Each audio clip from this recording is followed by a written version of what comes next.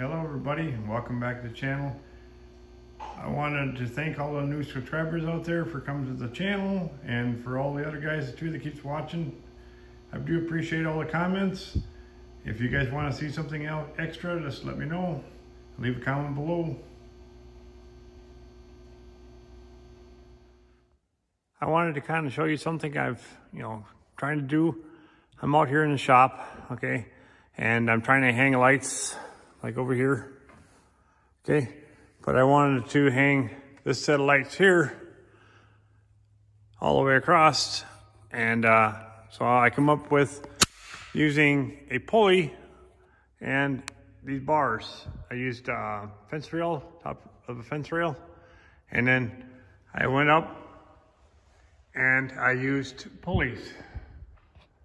I got one there, one there, one there, and one there. And that pulls, so I can pull this whole deal up all at one time. I know my, my shop is really messy right now, don't mind that. I just, I just wanted to kind of show you a little trick here and how to get things up in the air by yourself, okay? most of the time I end up doing a lot of this stuff by myself, so I wanted to kind of give you a heads up and show you how to do things a little bit easier when you're by yourself. So now all I have to do is I'll take and use the pulley and pull up slowly, you know, and keep going from there. So as you can see here, we got this high end is higher than this end. And all I'm doing is using ropes and pulleys to pull it up. It takes a little bit of time because I'm doing everything by myself. But it's not like you can't do this stuff. It just takes time.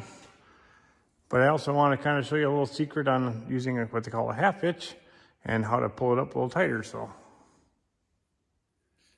as you can see here, what's called a half hitch. I go back and pull. And then once you, you can pull it and undo it and then use this to pull it tighter. To bring it all the way up higher. And you take and just put another half hitch into it and, and it holds it in place. So as like I said, it holds it in place. As you can see here, now that end is higher and the other end is higher, the middle is not. So now I got to go back and use the next pulley and pull it up higher. Slowly but surely, but we'll get her up there.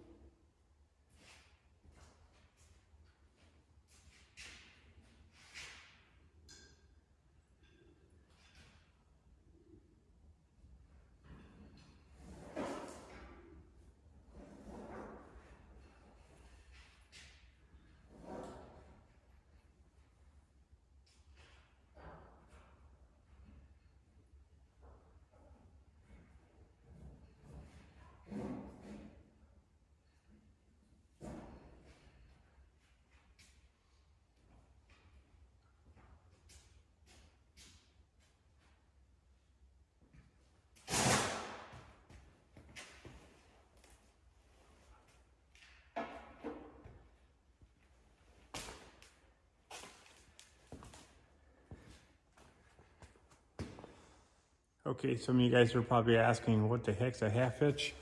It's you take and put your hand in here, turn it, and just bring it right through like this. All right.